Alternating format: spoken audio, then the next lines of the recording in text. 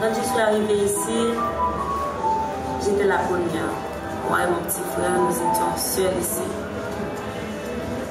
Il y a des personnes qui vivent ici, c'est parce que leur maison sont complètement effondrée. Et il y a d'autres